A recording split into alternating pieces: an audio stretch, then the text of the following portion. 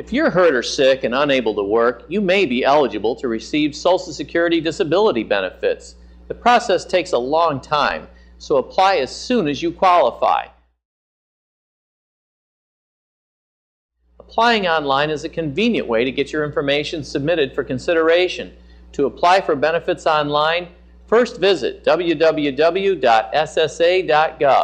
Next, click on the link for Disability or Disability Benefits you want to review the Adult Disability Checklist, which tells you what materials you need to apply for benefits.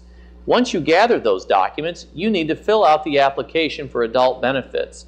Because disability benefits depend on your medical condition and work history, applicants also need to complete the Adult Disability Report. The last step in applying for benefits is authorizing the Social Security Administration to collect your personal medical information.